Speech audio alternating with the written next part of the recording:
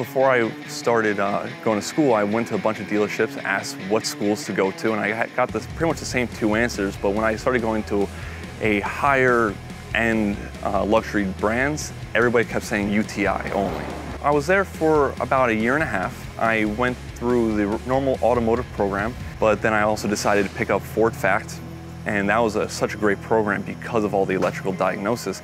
And now with today's cars, everything's electrical. And when it came down to it, I noticed a big difference of the opportunities that I had because of the Ford Fact, because I was already advanced within electrical.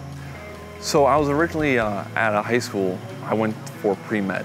I was scholarshiped into college, I was having a good time, but the longer I was in college, the longer I was taking these classes, I realized it really wasn't for me. But now I thought maybe it was just a college, so I switched colleges. But then I realized it still wasn't for me. So when I kept on going to class, I needed an outlet because it, I knew this wasn't it. And I started working on cars. And I started doing a side job of working on cars for my friends and other people in the town. And then I started realizing this was it. And even though I was going from pre-med to an automotive technician, how big of a jump that looked, everybody still supported me. My entire family supported me and I was able to go to UTI. And I, I finished college my associates, but I still went to UTI and I'm much happier now. I don't have to be in college for until I'm 32. I'm or only 23 and I've been working in the field for two years now.